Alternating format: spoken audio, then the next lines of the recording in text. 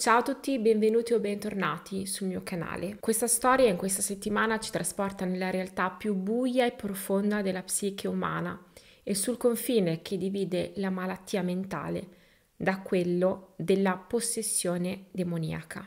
È un caso quello di oggi conosciuto, condiviso ma taciuto allo stesso tempo, perché alimenta paure e incomprensioni, lacera e divide chiunque ne venga a conoscenza persino i membri della Chiesa cattolica che si formano ancora oggi un'idea sul caso. Ma chi fu lì, in quell'abisso, coloro che furono presenti agli esorcismi di Annelise Michel Coloro che registrarono e presero nota di ciò che avvenne hanno lasciato a noi una testimonianza che genera molti dubbi e poche certezze. La vicenda di Annelise Michel sconvolse l'opinione pubblica tedesca e ispirò moltissime pellicole cinematografiche e libri. Sicuramente il film più famoso che io in passato ho guardato anche diverse volte, ma che ad oggi non riesco più a guardare perché mi terrorizza, è L'esorcismo di Emily Rose. Ma questo video sarà ancora peggio perché questo video parla della realtà dietro il film. Che cosa è accaduto davvero ad Annelise e perché le rivelazioni del demonio furono pubblicate solo molti anni dopo la conclusione degli esorcismi? Lo scopo del mio canale non è rispondere a quesiti che non mi competono, ma come sempre raccontarvi la storia di qualcuno che merita di essere ricordato e quel qualcuno è Annelise.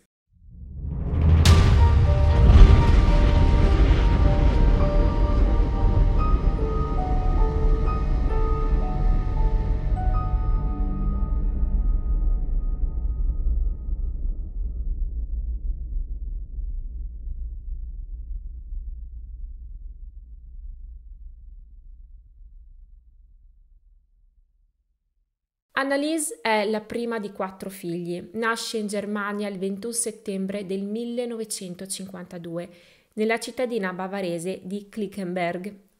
Ora, perdonatemi, ma io sono un disastro, mi, mi impegno tanto, ma davvero il tedesco faccio molta fatica a pronunciarlo. Una località questa profondamente religiosa, anche la sua famiglia è molto cattolica, di stampo tradizionalista Bevetevi tutte queste informazioni perché in questo caso ognuno si deve formare una propria opinione, ma bisogna guardare questa storia proprio da tutte le prospettive. Il padre di Annelise, Joseph, proviene da una vecchia famiglia borghese e artigiana e la madre di Joseph aveva un sogno, che uno dei suoi figli divenisse prete, poiché le sue tre sorelle ad eccezione di lei, erano divenute suore. Aveva quindi questo grande desiderio, cioè che suo figlio divenisse prete, ma non fu così perché Joseph diventa apprendista falegname nell'attività di famiglia e poi si arruola combattendo sul fronte occidentale e orientale durante la seconda guerra mondiale. Rientrato in patria, frequenta la scuola di edilizia a Monaco di Baviera e supera l'esame di mastro artigiano nel 1948 al fine proprio di prendere le redini dell'attività di famiglia. La madre di Annelise invece, Anna Michel, conosce Joseph mentre lavora come impiegata nell'ufficio di suo padre. Il loro è un fidanzamento combinato. Questo matrimonio viene combinato tramite la diocesi di Würzburg e lo organizza la nonna paterna di Annelise, quindi la madre di Joseph. I due giovani si sposano nel 1950, ma c'è un ma. Anna, la madre di Annelise, aveva già una figlia illegittima nata due anni prima, nel 1948. Ciò alimentò diverse voci, molte voci, secondo cui addirittura il matrimonio fosse avvenuto come forma di riparazione e che la famiglia Michel avesse ricevuto una sorta di pagamento per questo sodalizio matrimoniale. Ma circolarono anche altre voci. Una di queste affermava che la bimba nata illegittima fosse figlia di un prete. Quale scandalo! La piccola purtroppo, e questo fu preso come segno del divino, quindi di una punizione divina, ricordatevi la parola punizione, morì nel 1956 alla tenera età di 8 anni per un tumore ai reni ed essendo una figlia illegittima non venne sepolta nella tomba di famiglia, ma in una tomba separata, lontano, lungo il muro di cinta del cimitero. Oltre ad Annelise ci sono altre tre figlie femmine nate dall'unione di Joseph e di Anna e queste figlie nascono l'una dopo l'altra, una nel 1954, una nel 1956 e una nel 1957. Nonostante questo grande fervore religioso che accompagna la famiglia e che guida la famiglia, l'infanzia di Annalise viene descritta come un'infanzia normale e serena, seppur fin da piccola abbia sofferto di problemi di salute, sia stata sempre di salute cagionevole. È spesso ammalata e mostra un fisico poco resistente alle malattie. Frequenta la scuola elementare a Klingenberg e poi il ginnasio dove è un membro sportivo e prende anche lezioni di pianoforte e fisarmonica. È una ragazza solare che trascorre le sue giornate suonando e soprattutto cantando perché adora cantare. Le piace stare in compagnia, è socievole ed è molto devota. Fin da piccola manifesta il desiderio di divenire una catechista. Frequenta la chiesa anche grazie alle direttive genitoriali, certo legge le sacre scritture, recita il rosario, segue gruppi di preghiera, ma quello che fa anche, e questo io ve lo devo dire, è dormire occasionalmente a terra per espiare le colpe degli altri. Annalise, lo scoprirete, è legata al concetto di colpa ed espiazione fin da bambina, attraverso la penitenza. Inoltre ama fare caritativa ed esibire forme di pietà religiosa di varia natura, nonché discorsi molto grandi per una bambina, come già il concetto di evangelizzazione. Chi la conobbe davvero la descrive come una ragazza normale, gentile e generosa. A scuola è diligente, ha un ottimo rendimento, è lodata dagli insegnanti e è anche molto graziosa. Il suo aspetto lo potete vedere in foto, è femminile, è molto attraente. Noi però non possiamo conoscere le sue sfumature, ma ce le possono solo raccontare. Non è una ragazzina ombrosa, ma quando parla è gioiosa, trasmette serenità, è molto diretta e al tempo stesso riservata. Non ama parlare molto di sé. Fino ai suoi 16 anni la vita è tutto sommato dolce, equilibrata e il futuro a portata di mano. Ma poi Annalise inizia ad avere problemi di salute, questa volta dei seri problemi di salute. Nel settembre del 1968 viene colpita da un primo attacco epilettico. Sviene a scuola e si risveglia solo molte ore dopo nel suo letto. Si sente paralizzata, bloccata, non riesce a muovere gli arti. La lingua è gonfia e le fa male e mentre si rende conto di tutto questo rilascia la vescica. Un altro attacco di questo tipo avviene, pensate, dopo un anno, quindi per un anno Annelise è convinta che sia stato soltanto qualcosa di, di strano, di incomprensibile che le sia capitato, ma che non avverrà più. Non fu così. Nel 1969, un anno esatto dopo, un nuovo attacco epilettico. Questa volta le viene fatto chiaramente un esame neurologico e un elettroencefalogramma e qui le viene diagnosticata una rara forma di epilessia. Poco tempo dopo, ad aggravare il suo quadro, viene colpita anche da una grave malattia polmonare e ricoverata nel 1970 in un sanatorio per malati di tubercolosi a Mittelberg. Durante questo soggiorno, che di fatti è forzato, è un ricovero, vengono registrati diversi episodi convulsivi e sempre qui, secondo una fonte diretta, ebbe per la prima volta allucinazioni uditive e visive. Parliamo più nel concreto.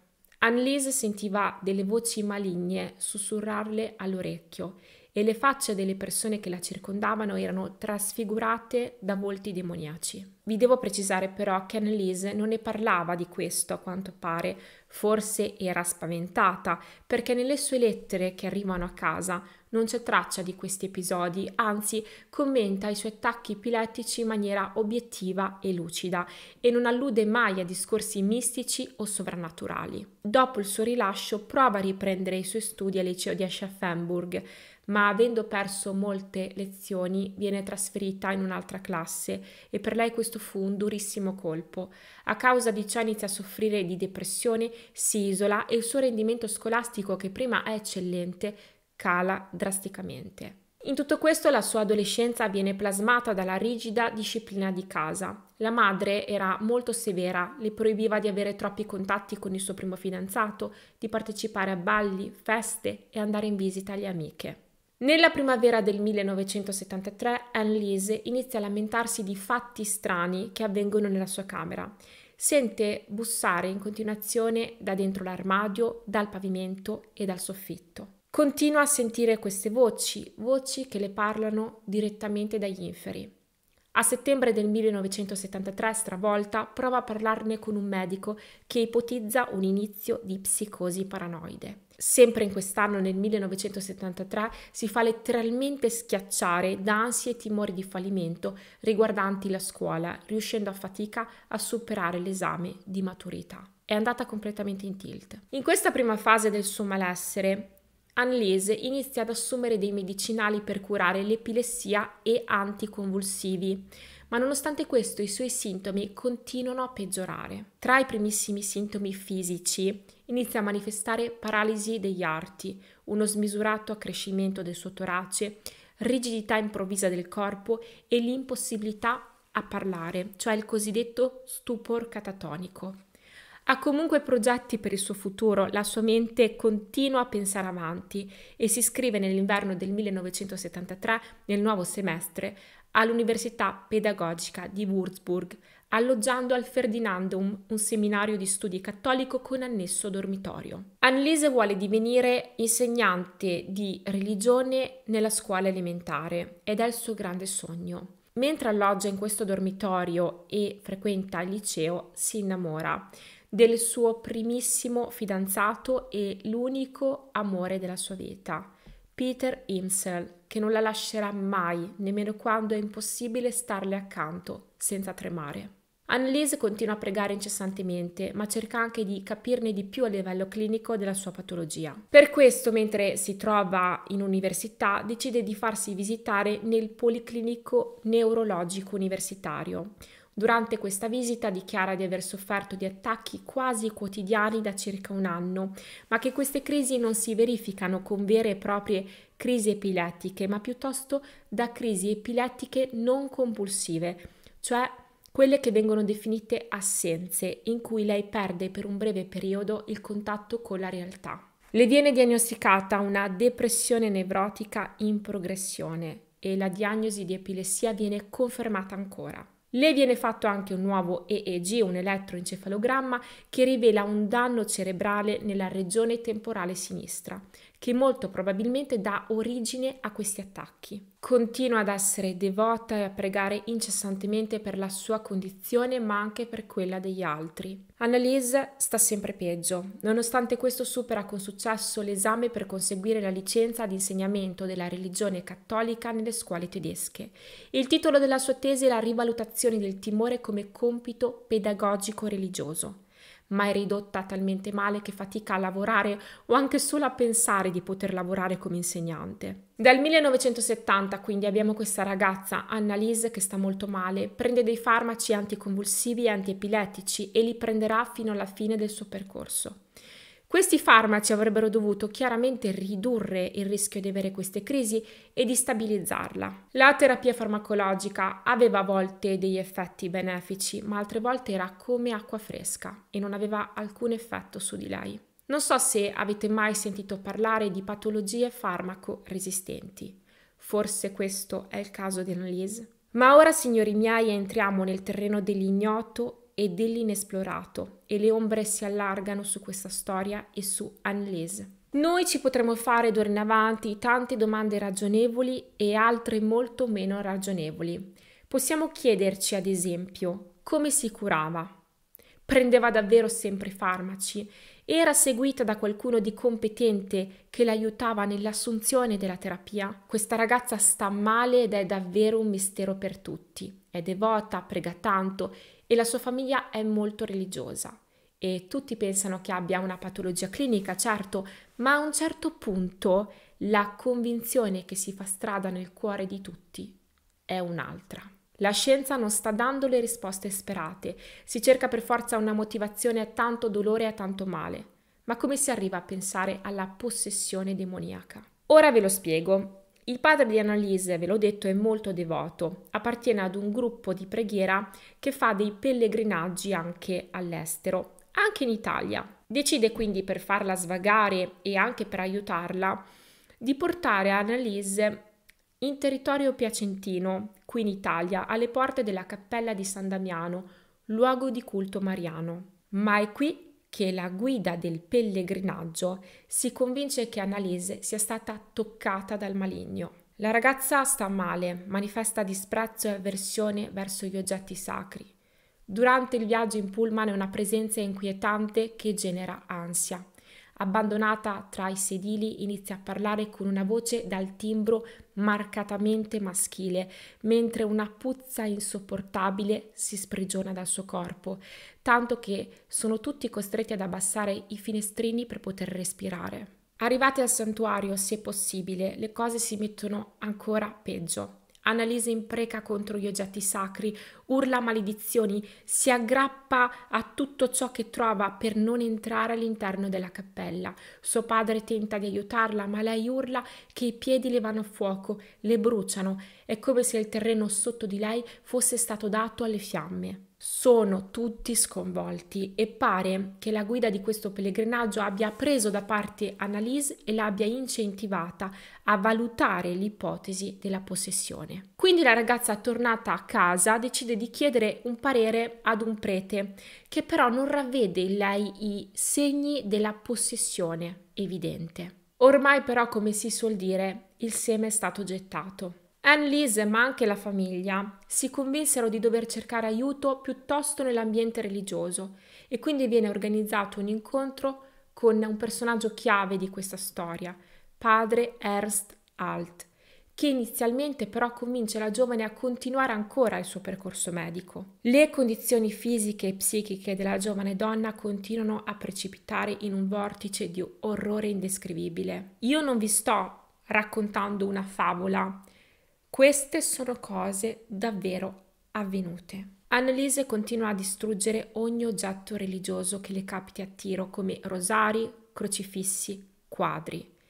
Inizia a mutilarsi e ad aggredire la propria famiglia con morsi e percosse. Mangia insetti di vario genere, sino a staccare con i denti e ingurgitare la testa di un uccello morto. Si strappa i vestiti a brandelli cammina a quattro zampe guaendo come un cane per poi urinare sul pavimento e leccare la sua urina da terra. La famiglia è disperata. Alcune parti del suo corpo poi si gonfiano in maniera innaturale, come il torace, le mani sono gonfissime, quasi nere. Annalise non riesce a dormire la notte perché è disturbata dalle voci e da un orrendo fettore che sente che si sprigiona nella sua stanza. Poi vede volti demoniaci alle pareti e intorno a lei e sente ha questa sensazione di una forza sovraumana che la inchioda al letto con il suo peso e la paralizza. La famiglia riporta che un giorno Annalise a cena improvvisamente ha le mani nerissime e gonfissime. Lei disse ho le mani nere, mio Salvatore perdonami, vedo facce diaboliche sulle pareti, hanno sette corone e sette corna. Annalise nei rarissimi momenti di lucidità e di tregua matura l'idea di dover espiare le colpe dei propri peccati e anche di quelli che ama, ma non soltanto. Per questo inizia e pretende di dormire a terra sul letto di pietre. Ci dormirà per tre anni dorme lì come penitenza. Durante i ricoveri in ospedale i medici possono solo imbottirla di tranquillanti e alimentarla forzatamente perché inizia anche a non mangiare più. Il suo rifugio è la fede. Annalise prega in continuazione, prega anche in ospedale. I genitori tornano a rivolgersi per lei al vescovo locale e ancora una volta egli li invita ad andare dagli specialisti, a seguire un percorso medico soprattutto. Quindi la richiesta di avere un esorcista, perché questa è una richiesta che fa la famiglia, inizialmente viene respinta, ma poi, vedendo che la terapia non sortisce alcun effetto, che Annalisa ha una particolare avversione per gli oggetti religiosi, che ha una forza fuori dal comune, anzi dell'umano, che sempre più spesso parla le cosiddette lingue morte, come l'aramaico, il latino e il greco antico, con maestria, decisero nel settembre del 1975 di autorizzare due sacerdoti, due esorcisti, padre Ernst Alt che già conosceva la situazione e la famiglia e Annalise e padre Arnold Renz a compiere un primo esorcismo su Annalise Michel, secondo il rituale romano del 1614. Un exorcismus probativus, ovvero un esorcismo di prova. Questi preti iniziano a conoscere meglio Annalise e assistono alle manifestazioni della sua condizione. Questo è ciò che raccontano loro. Raccontano che Annalise non riusciva a parlare e a camminare e spesso si trascinava aggrappandosi ad armadi e tavoli. Un attimo dopo, mentre non riusciva a stare in piedi, veniva scagliata a terra con violenza, come spinta da una mano invisibile, anche per ore e ore. Proviamo ad immaginarci una scena come questa, vengono i brividi. Soffriva tantissimo, saltava in piedi velocemente e poi veniva battuta a terra come una canna piegata dal vento. Ad ogni Ave Maria pronunciata cadeva a terra e sbatteva la testa con il tonfo di un coccomero che si schianta sul pavimento. La madre Anna prova in tutti i modi a ripararle la testa con dei cuscini e dei piumini, ma Annalise riesce a cadere sempre sulla dura pietra. Gli esorcisti dichiarano di aver sempre incentivato Annalisa a continuare le terapie e le visite mediche e chiedevano spesso alla giovane cose come il dottore che cosa ti ha detto? Che diagnosi ti hanno dato, Annalise?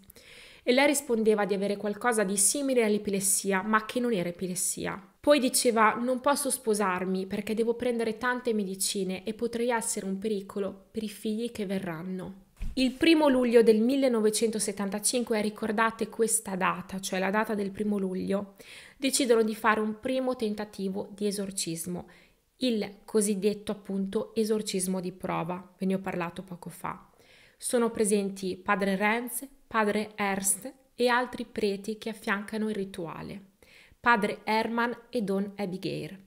Non so dirvi se è già presente anche il dottor Richard Roth, ne parleremo poi, però a un certo punto del percorso anche un medico affiancherà gli esorcismi. Un esorcismo di prova viene fatto quando tu non sai esattamente cosa non vada in una persona e devi capire se si tratti di possessione davvero o solo di malattia psichica. Viene dato in sostanza un comando spirituale ma con il pensiero. Non si muovono le labbra né gli occhi e non si fa alcun gesto.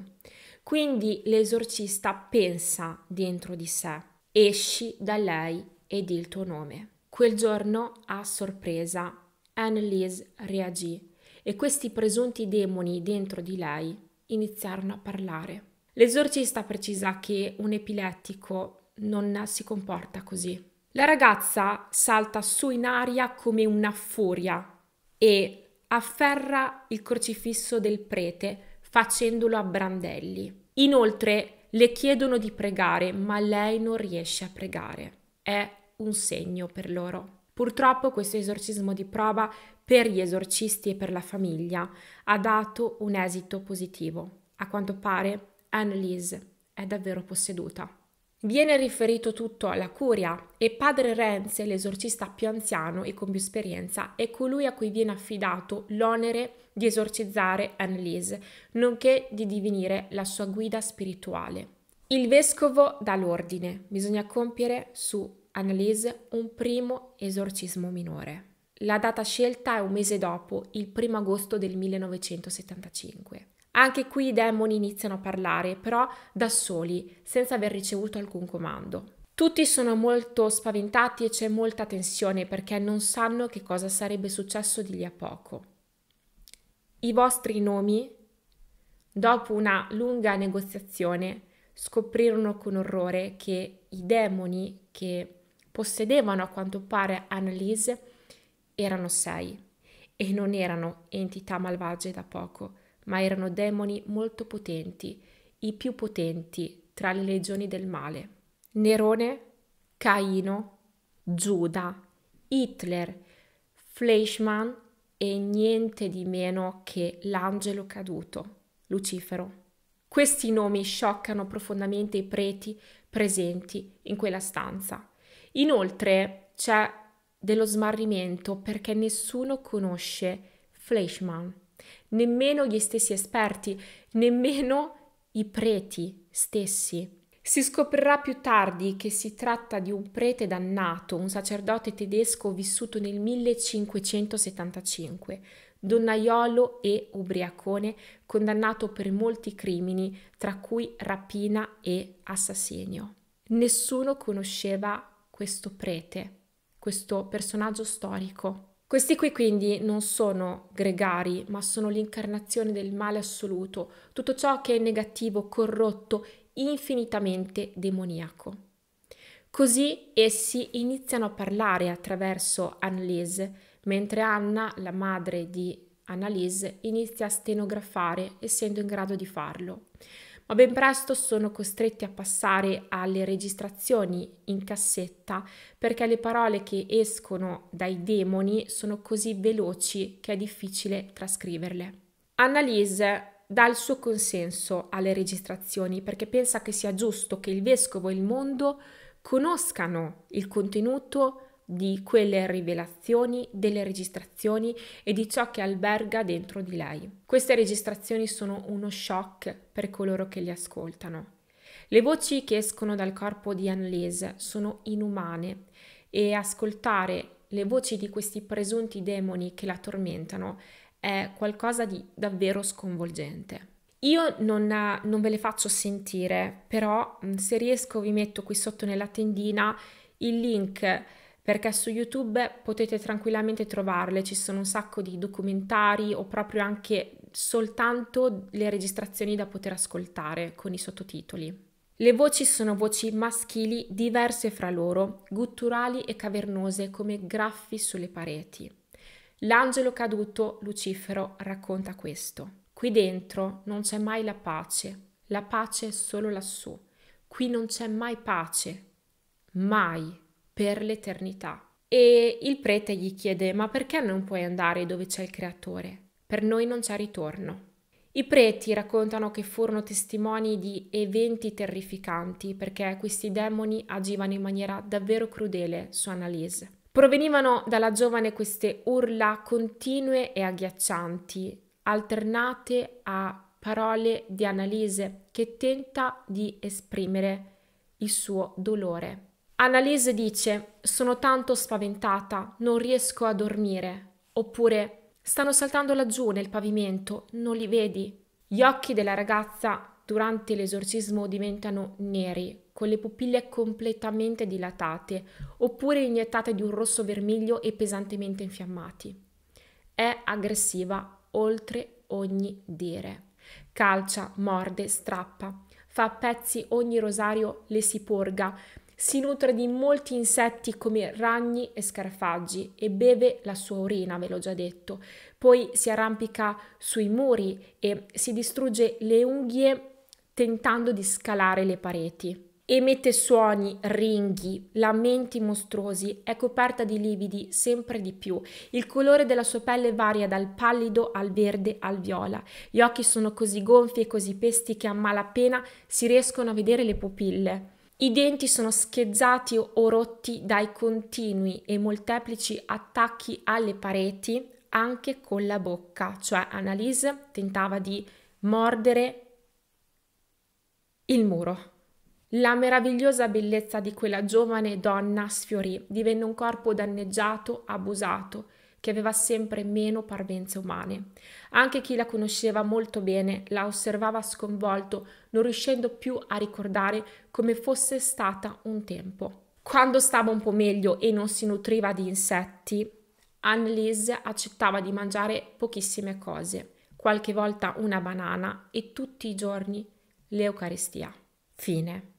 Secondo il racconto di padre Ernst Alt, che è colui che è stato più intervistato dopo la fine eh, della, della vicenda di Annalise, lui chiese più volte alla famiglia di ricoverare Annalise in un ospedale psichiatrico, ma la famiglia si opponeva. A un certo punto loro pensavano davvero che il ricovero non potesse aiutare Annalise e temevano che il suo futuro come insegnante sarebbe stato per sempre compromesso. Nei suoi pochi momenti di tregua, Annalise continua a offrire sacrifici al Signore per espiare i peccati, Come vi ho detto, arriva anche a dormire a terra sul letto di pietroni o sul pavimento in pieno inverno. Fa penitenza per se stessa, per i suoi familiari, ma anche per i sacerdoti ribelli, le persone tossicodipendenti e i giovani.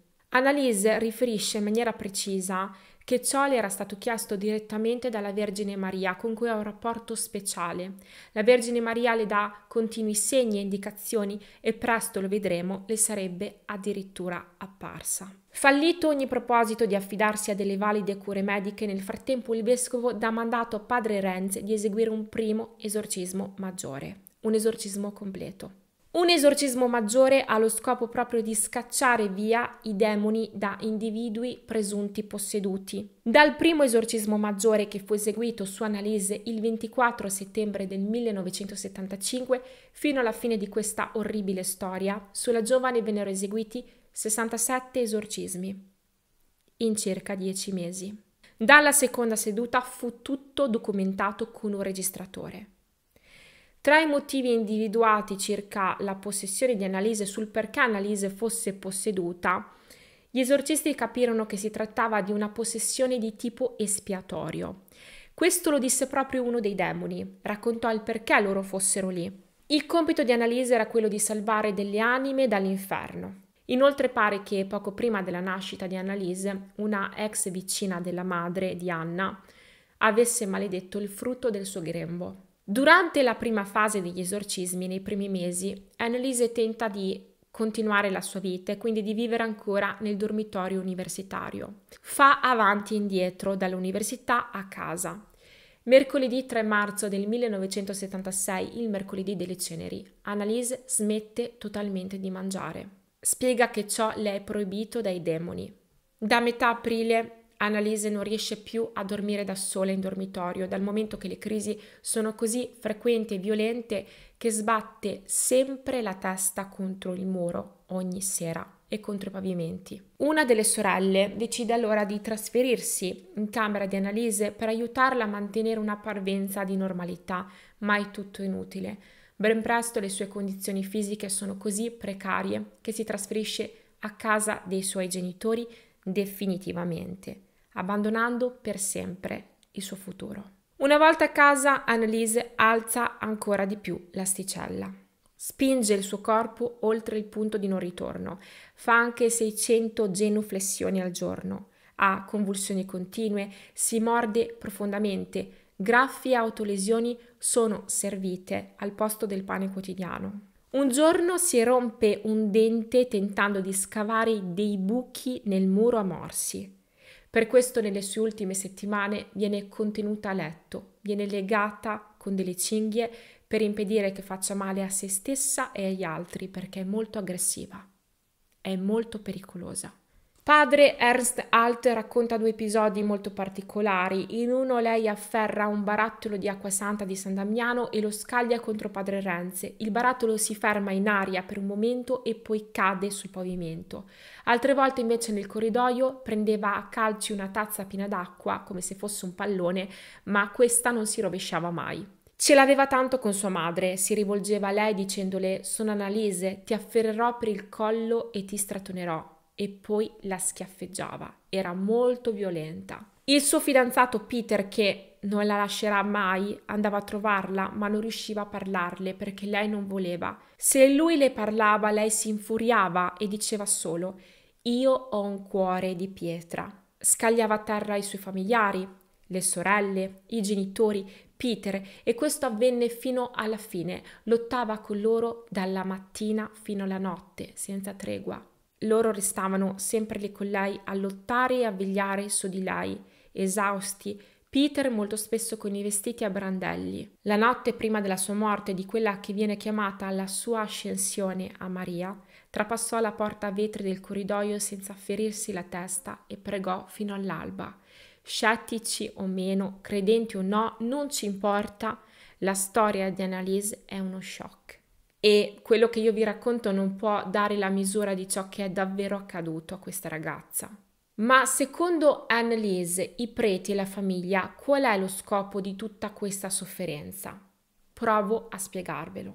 Una domenica Annalise va a fare una passeggiata con Peter, ma mentre sono in strada si fermano in una stradina di campagna e scendono per fare quattro passi. Mentre stanno passeggiando, Annalise sta davvero molto male, parla a fatica e non può camminare da sola.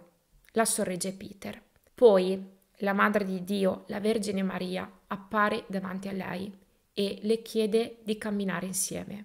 Camminano per alcuni metri, può sembrare incredibile, ma questo è ciò che racconta Annalise e camminano verso un parco. La Vergine le parla e le dice è una grande sofferenza del mio cuore che proprio in questo momento così tante anime vadano all'inferno. Le persone devono fare penitenza per i sacerdoti, per la gioventù e per il tuo paese. Vorresti fare penitenza tu per le loro anime affinché non vadano all'inferno? Peter, che è vicino a lei, non vede nulla, ma quello che vede è che Annalise sembra stare benissimo. È in una sorta di estasi, con il viso radioso, cammina dritta, riesce a camminare. Qualcosa deve essere accaduto. In quella passeggiata la Vergine chiede ad Annalise se sia disposta a restare lì nel suo tormento e ad abbracciarlo fino alla fine. Questo per salvare le anime di molte persone. Annalise si inginocchia ai suoi piedi ed inizia a pregare e poi improvvisamente riesce a saltare. Riesce a saltare quando per mesi e fino a poco prima non riusciva nemmeno a stare in piedi. Peter è ammutolito. La riporta a casa e Annalise sale in camera sua e racconta tutto a sua madre. Mamma, mamma, guardami, ora posso camminare e saltare. Posso ballare. Sai, mamma, ho visto la Vergine Madre. La madre Anna, che era convinta della possessione di Annalise, per un momento pensa, lo racconta lei, ha detto davvero che ha visto la Vergine, deve essere matta. Ma Annalise continua a ripetere, si è mostrata a me e ripete molte volte, molte anime andranno all'inferno, mamma, molte anime andranno all'inferno. La madre Anna chiede, ma dov'è Peter? Perché il ragazzo non c'è. Annalise è salita in stanza da sola, ce l'ha fatta. In quel momento Peter è di sotto nel garage, dentro la sua macchina, e sta piangendo. Peter è un po' il simbolo di tutte le persone, di tutti i familiari, i fidanzati, i mariti, i padri, i figli, potrei continuare, che stanno a fianco, e ci metto dentro anche gli operatori, gli educatori delle comunità, che stanno a fianco a persone che sono profondamente malate e non è semplice. O come in questo caso l'ipotesi B è a fianco di persone che stanno vivendo un tormento come una possessione, perché la famiglia, non so bene la posizione di Peter, ma la famiglia è convinta della possessione di Annalise. Se ci mettiamo nei panni di Peter che rimane accanto alla donna che ama fino alla fine, è un ragazzo di 24 anni e vorrebbe un futuro con lei, per lui spesso, anzi sempre, è davvero troppo. Piange disperato perché non riesce a comprendere il senso di ogni cosa. Peter è descritto come una figura davvero interessante perché passò tutto il suo tempo con Annalise.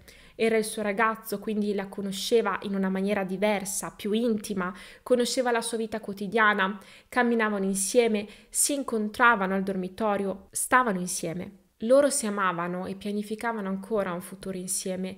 Erano convinti che tutto ciò, tutto quello che stava loro capitando sarebbe finito un giorno. Quale calvario deve essere stato per lui stare vicino ad una persona malata o posseduta? Dipende da quale ottica voi vogliate vederla.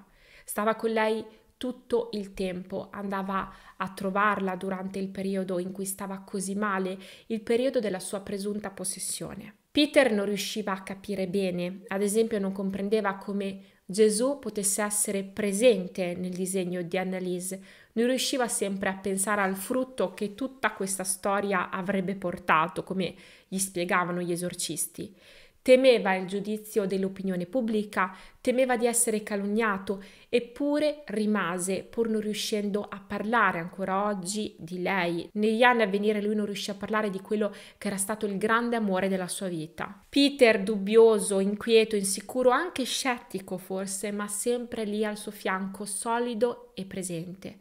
L'amava e non le volgerà mai le spalle. Annalise disse a sua madre: Ho tre giorni per riflettere e decidere se accettare o meno. Ci penserò questi tre giorni. La madre pensò tra sé e sé.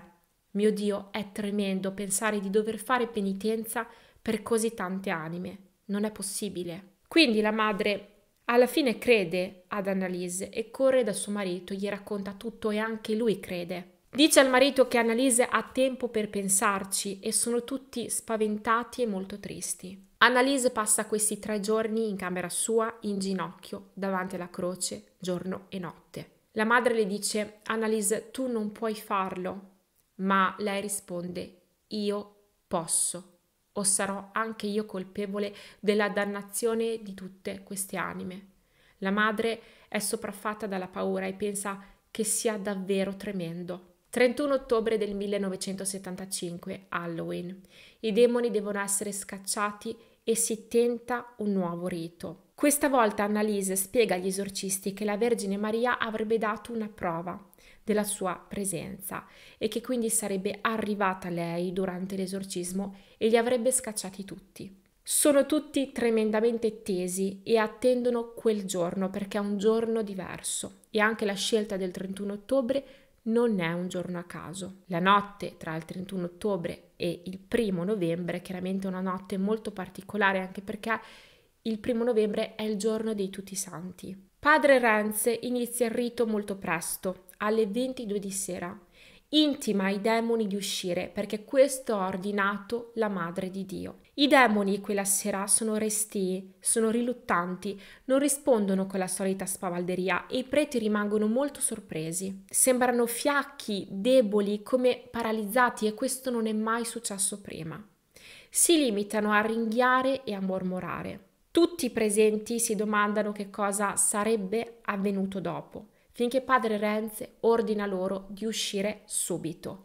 Uscite ora, io ve lo ordino. Per un po' non ci fu risposta, ma poi essi risposero: Noi non usciremo. Padre Renze allora ordinò di iniziare a pregare la Madre di Dio e ordinò di salutarla e di cantare il Magnificat. Dopo appena due righe di canto, i demoni iniziarono a urlare: Sta arrivando, sta arrivando, con delle urla davvero agghiaccianti, disumane.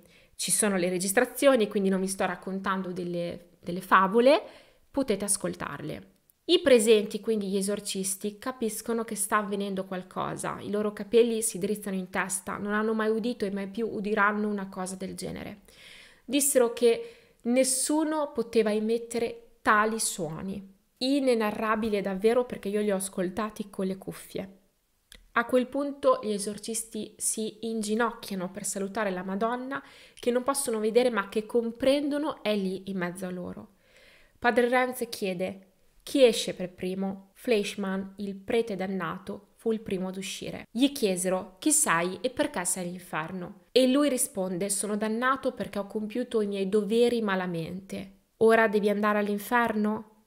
Sì. Sai cosa devi dire? gli chiede l'esorcista. Sì e urla ancora più indemoniate.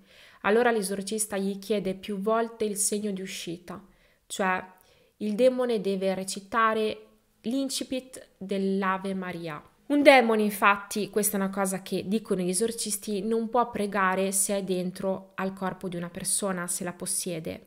A fatica, urlando, Fleischmann dice Ave Maria, piena di grazia. È il segno e il primo è andato. Ora chi ha il prossimo? Renze incalza. Caino? Nerone? Caino. Anche qui Caino si presenta, dice io sono Caino, ho ucciso mio fratello, ma la voce è diversa da quella di prima e sono voci, vi ripeto, maschili, laceranti, gutturali, strane. Anche a lui viene ordinato di uscire e di salutare la Vergine Maria, ma Caino non cede. Caino dice: Voi luridi maiali non ve ne sareste potuti uscire con niente di peggio. Ancora gli viene ordinato di salutare la Santa Vergine e lui cede. Ave Maria, piena di grazia. È il segno. Subito dopo poterono iniziare a sentire un senso di sollievo che si sprigionava nella stanza. E così e così fino alla volta di Lucifero, finalmente.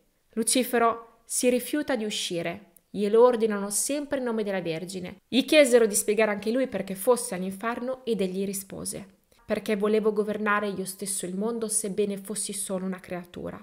Non volevo servire. Lucifero combatte, si nega, dice tante volte no e tante volte dice di non voler uscire. Ma alla fine anche lui, con l'orgoglio nella voce, balbettando a stento, salutò la Vergine Maria ed uscì. Dopo la sua uscita, pregarono e cantarono un canto appropriato, cioè il grande canto d'adorazione alla Madonna. Ora, nelle registrazioni a questo punto si sente una voce diversa, provata, roca, ma femminile, come se si fosse risvegliata.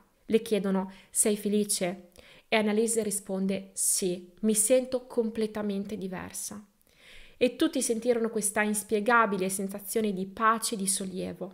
Annalise era lucida e continuava a ripetere: Ora sono finalmente libera, sono completamente libera. Scelgono a questo punto una preghiera nel libro per sigillare la liberazione di Annalise. Hanno appena iniziato a cantare una lode alla Vergine quando si sente un urlo agghiacciante. Poi un ruggito.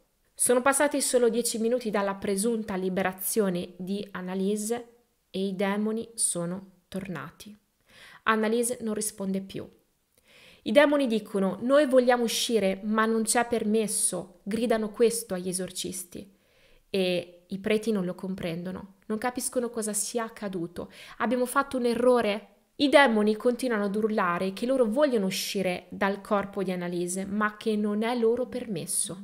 Gli esorcisti allora comprendono che deve esserci un disegno, che deve esserci una ragione. Deve esserci una ragione se l'esorcismo non funziona. Ora, secondo l'opinione degli esorcisti, perché tutto quello che io vi ho appena raccontato non è ciò che penso io o non importa questo, è quello che gli esorcisti hanno raccontato.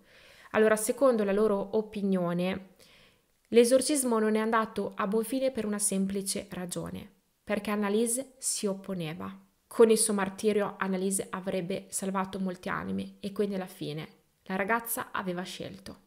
Molti credono in questo, ci si può credere oppure no, ma sicuramente non tutto con la scienza riesce ad essere spiegato.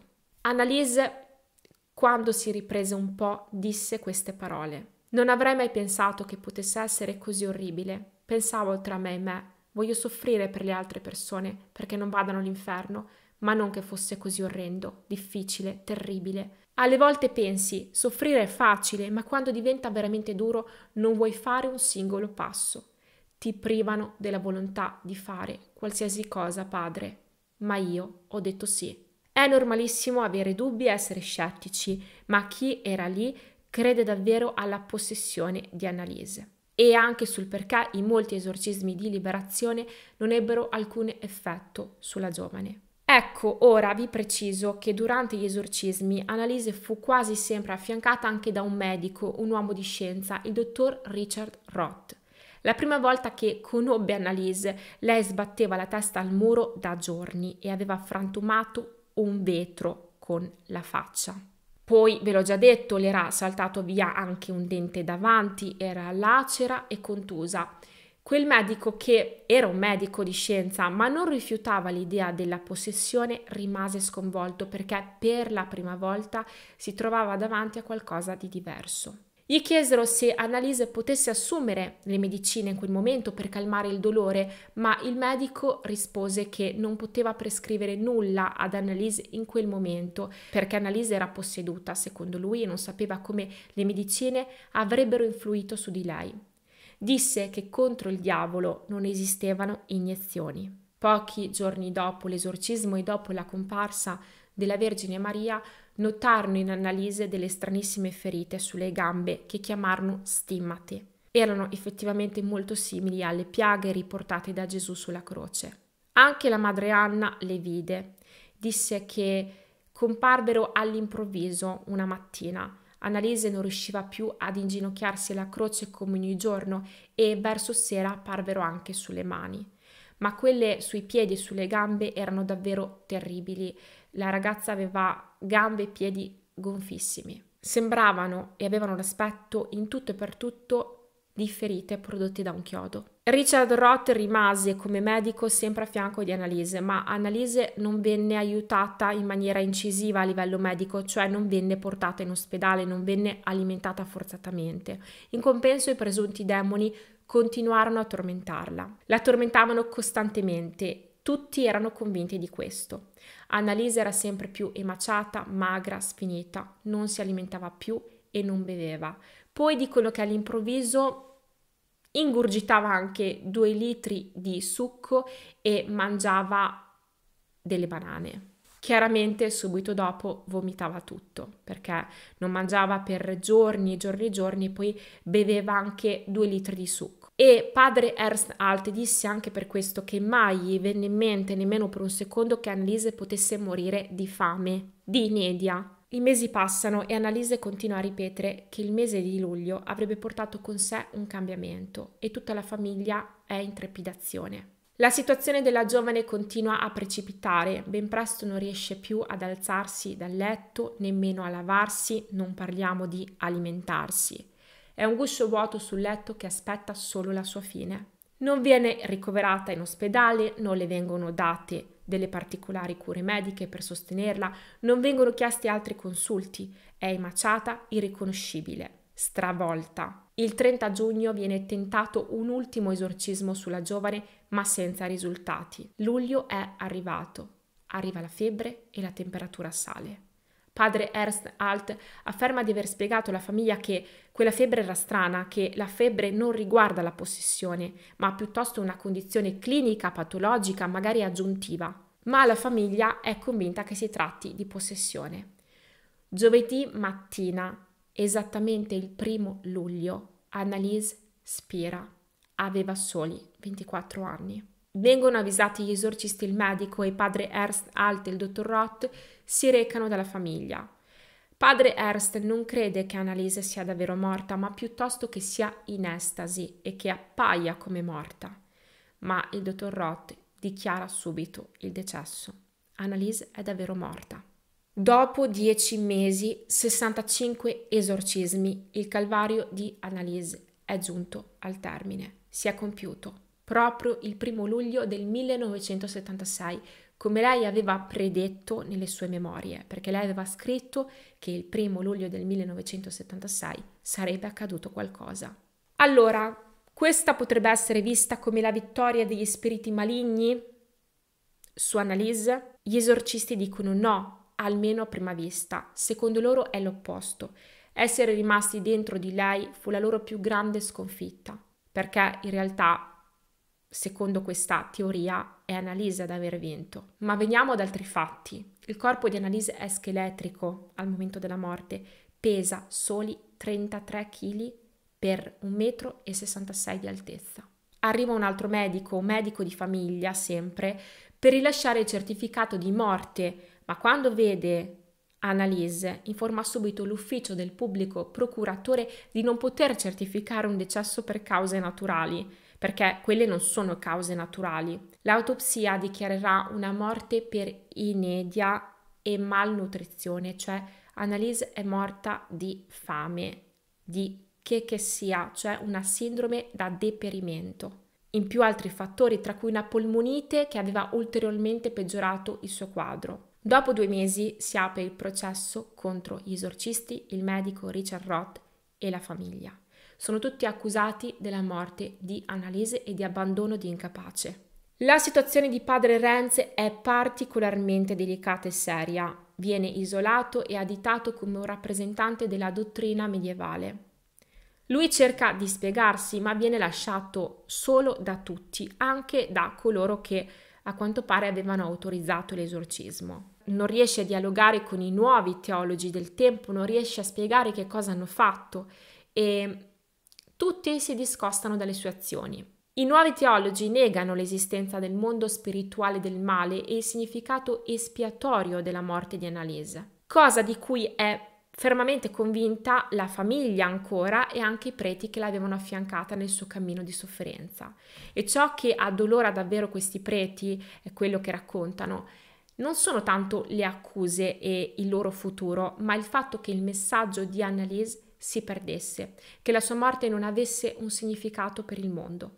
Si sentirono distrutti e ridicolizzati e anche traditi dalla stessa Chiesa che negava ciò che loro avevano visto e toccato con mano. Il perito del Policlinico Neurologico, consulente del pubblico ministero, invece dice un'altra cosa. Testimonia che Annalisa invece soffriva di un disturbo epilettico e a causa del trattamento farmacologico questo disturbo era sfociato in una psicosi paranoica e che in uno psicotico paranoide ci possono essere proprio dei tratti marcatamente legati al mistico ed esagerati in tal senso così come fasi depressive e maniacali con forte aggressività e manifestazioni estreme. Quindi questo deterioramento di analisi era, cerco di spiegarmi, il frutto di un'autosuggestione e di una perdita definitiva di controllo. Inoltre vi era una condizione di grave anoressia non diagnosticata. Secondo questa testimonianza tutto poteva essere risolto, poteva essere evitato. Bisognava innanzitutto consultare un medico alimentare forzatamente Annalise, fornirle adeguata assistenza psicologica e farmacologica. Annalise inoltre non era in grado al momento di discernere e quindi la sua volontà non doveva essere più presa in considerazione, chiaramente per salvarle la vita. Da che lato quindi la vogliamo guardare? Spiegazione medica e psicologica. Annalise è epilettica e successivamente sviluppa una grave forma di paranoia la sua è una patologia farmaco-resistente, quindi i farmaci non le fanno effetto, evento raro ma possibile, ve lo confermo. Poi abbiamo l'ambiente in cui è cresciuta, che ha creato delle suggestioni mistiche e religiose in Annalise. Lei si è davvero convinta di essere posseduta.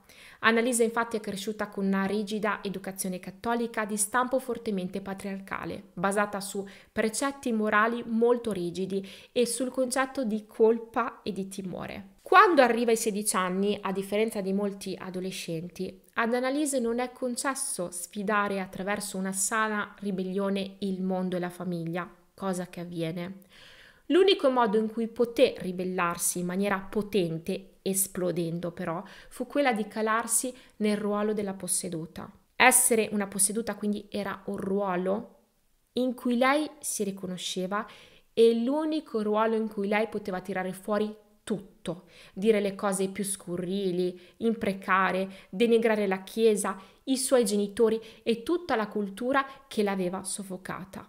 Signori miei, lei conosceva molto bene la storia della Chiesa e della dottrina cattolica in maniera molto precisa. Quindi le cosiddette confessioni dei demoni in realtà sono cose che lei aveva appreso e imparato nella sua abnorme e impressionante cultura in merito. Fin da bambina è ossessionata dal concetto di espiazione dei peccati che l'aveva portata fin da piccina a dormire per terra per le colpe degli altri, per le colpe anche della madre e del frutto illegittimo del suo grembo. A un certo punto è netta, quindi rifiuta l'ambiente medico e si rifugia nel solo modello che conosce.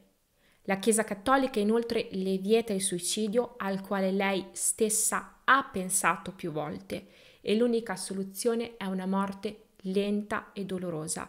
Quindi in quest'ottica Annalise si fece morire di fame lentamente a partire dalla Pasqua del 1976. E poi non ve le stramazzo più perché è tanta roba clinica, però vi dico un'ultimissima cosa per essere veramente molto precisa. La sua diagnosi finale fu questa Psicosi paranoide allucinatoria da epilessia sopraggiunta anche a fattori psicosociali preesistenti, determinante l'auto-identificazione paranoica con il ruolo di posseduta. Ok? La posizione della Chiesa invece fu diversa, ovvero loro credevano a una possibile idea di possessione demoniaca. Annalise per loro era probabilmente posseduta.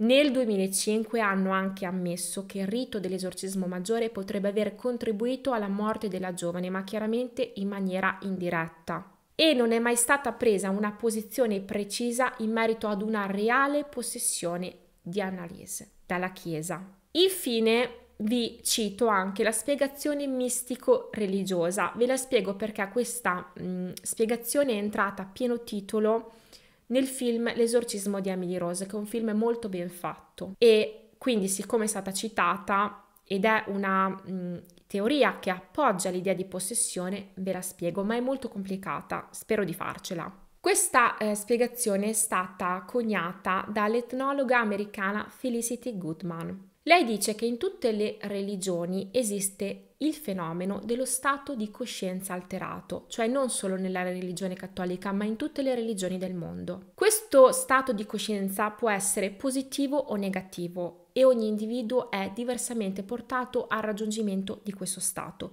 C'è chi lo è di più e c'è chi lo è di meno, c'è chi è più sensibile e chi meno. Annalise era molto sensibile in questo senso. Se questo meccanismo è positivo, noi stiamo parlando di sinergie a livello del cervello. Se questo meccanismo è positivo, agisce in aree del cervello che sono deputate al piacere, ok? E tutto va bene. Ma se è negativo, raggiunge l'area del cervello deputata ai meccanismi punitivi. Un segno specifico di questo è la glassolalia, ovvero il parlare in lingue o in vocalizzazioni con particolari ritmi e melodie e secondo Felicity Goodman la stessa vocalizzazione è presente nelle registrazioni audio degli esorcismi di Annalise. Noi stiamo parlando di sinergie del cervello e il nostro cervello è un territorio inesplorato, quindi siamo capaci, utilizzando altre aree del nostro cervello, di cose che nemmeno ci possiamo immaginare. Questo è il succo. Cosa dice la Goodman? Che ogni religione ha un meccanismo per spezzare questa sinergia negativa. La chiave della religione cattolica è il rito dell'esorcismo, cioè il rito dell'esorcismo è la chiave. Però ogni religione ha i suoi meccanismi, io non conosco quello delle altre religioni, ma eh, la religione buddista ha il suo meccanismo, eccetera, eccetera. Il violento shock psicologico che causa l'esorcismo serve proprio a riportare questo stato di coscienza dall'area della punizione a quella del piacere, cioè praticamente lo shock che causa l'esorcismo porta in equilibrio questa situazione. Stiamo parlando, lo ripeto, di sinergie a livello cerebrale. Questo avviene in Annalise quando effettivamente tutti i demoni escono dal suo corpo, cioè lei ritorna in asse, ma ci fu un problema non considerato, cioè l'effetto dei farmaci che Annalise assumeva. Questi erano farmaci che in qualche misura sedavano Annalise e impedirono la reazione cerebrale che l'esorcismo promuoveva. Quindi bloccarono questa reazione e il cervello di Annalise non reagì in maniera positiva. La situazione di Annalise peggiora così tanto che lei non riesce più a deglutire e quindi non riesce nemmeno più ad assumere un farmaco in particolare che le causa un'astinenza. Inoltre i farmaci le distrussero anche i globuli rossi. Questo venne detto. Si creò questo squilibrio impressionante e a causa di tutto ciò Annalise cedette, morì. Ovviamente non stiamo assolutamente dicendo che i farmaci non debbano essere presi. Eh. Attenzione, io vi sto raccontando la storia di Annalise e le varie teorie che vennero dette. Non voglio che passi un messaggio sbagliato. Il lavoro di Felicity Goodman venne elogiato ma anche ampiamente screditato come privo di fondamento, però visto che è stato, e vi invito a rivedere il film se volete, se, che è stato citato nel film, eh, anch'io l'ho voluto riportare. Spero di essere stata chiara.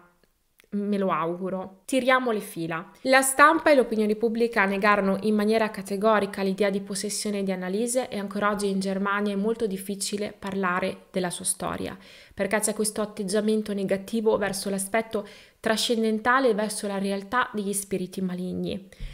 Le persone ne sono terrorizzate.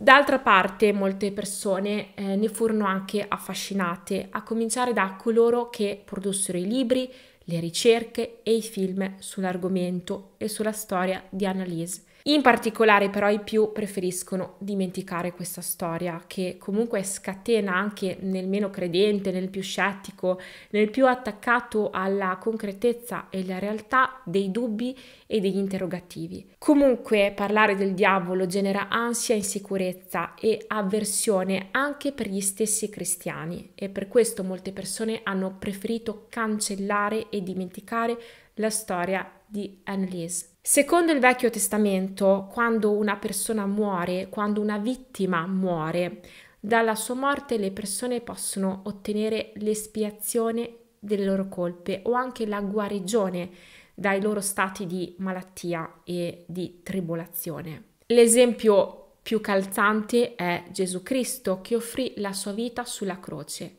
e mentre per noi la morte è impotenza, chi credette al martirio di Annalise vide nella sua morte il trionfo della luce sul male. Tramite il suo calvario in estrema solitudine, lei ha portato il suo contributo nello sconfiggere Satana.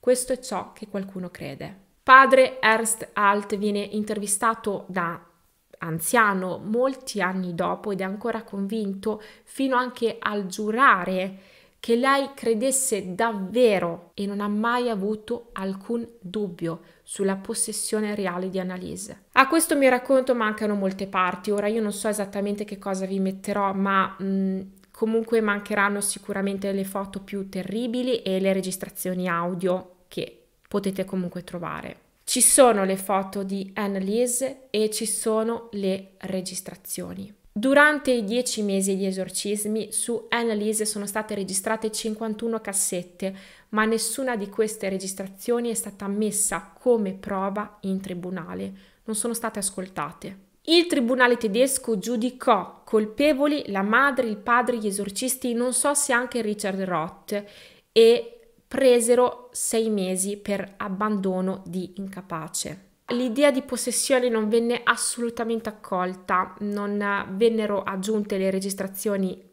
alle prove, nonostante Annalise da tempo rifiutasse di nutrirsi, nonostante molti testimoniassero che ella parlasse con voci maschili diversificate fra loro e in lingue morte come il greco antico, l'aramaico, il latino, e erano lingue a lei sconosciute, non ne aveva una padronanza. Ora iniziano tutti i miei nonostante, quindi nonostante lei avesse questa forza sovraumana e facesse a pezzi ogni oggetto sacro, nonostante avesse piaghe incurabili nei punti della passione e nonostante conoscesse la storia di questo personaggio storico, Fleischmann, che nessuno conosceva, un personaggio però realmente esistito, di cui persino la Chiesa ignorava quasi del tutto la sua esistenza. Nonostante la sua morte fosse avvenuta il giorno esatto in cui lei lo aveva predetto, quindi il primo luglio, e nonostante tutto questo, l'ipotesi della possessione venne abbandonata, perché secondo il giudice, la giuria e l'opinione pubblica c'erano delle spiegazioni reali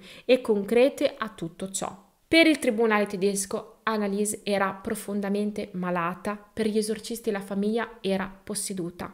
Il caso scatenò chiaramente una valanga sulla Chiesa, tanto che teologi e vescovi tedeschi chiesero di abolire la figura dell'esorcista e anche il rituale, chiaramente.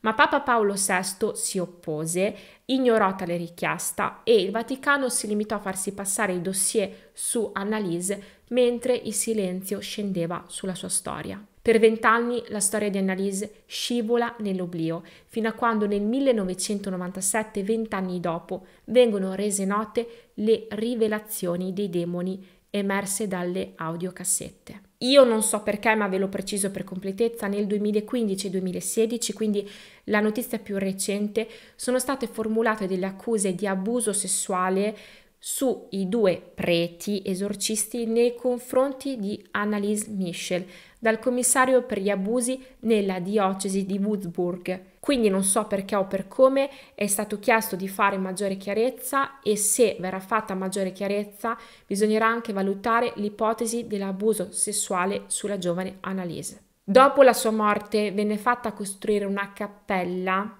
consacrata dal padre di Annalise in una proprietà privata vicino al cimitero della loro città.